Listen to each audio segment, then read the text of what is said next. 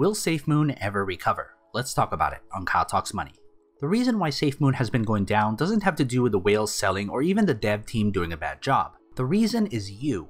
You and the 2.5 million other holders of SafeMoon are what's keeping the price down. How can that be? Hype. Hype is what keeps any speculative instrument alive, and if you don't believe SafeMoon is still a speculative instrument, you need to wake up.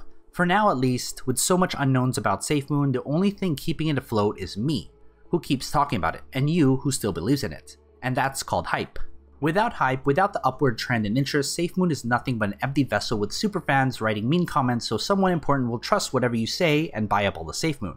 If you can get all 2.5 million SafeMoon holders a Twitter account and just blast, blast, blast SafeMoon so it gets trending again, you'll see a surge of interest. In a very crowded crypto market, interest is key to a crypto thriving.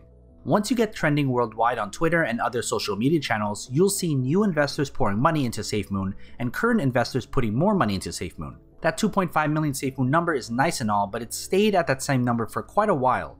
You need more and more holders. 2.5 million SafeMoon holders isn't enough to get SafeMoon to 1 cent or more. Because sadly, out of those 2.5 million holders, I would say less than 10,000 of them have any meaningful amount invested in SafeMoon.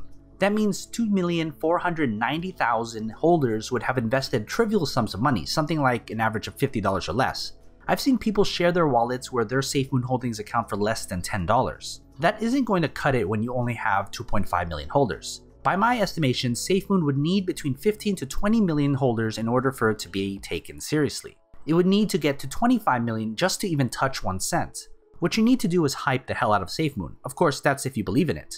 That means flooding crypto pages and Twitter with SafeMoon, not in a spammy way, but in a smart way. Maybe share this video and get the hype train going from here. How do you think Dogecoin and Shiba Inu got attention?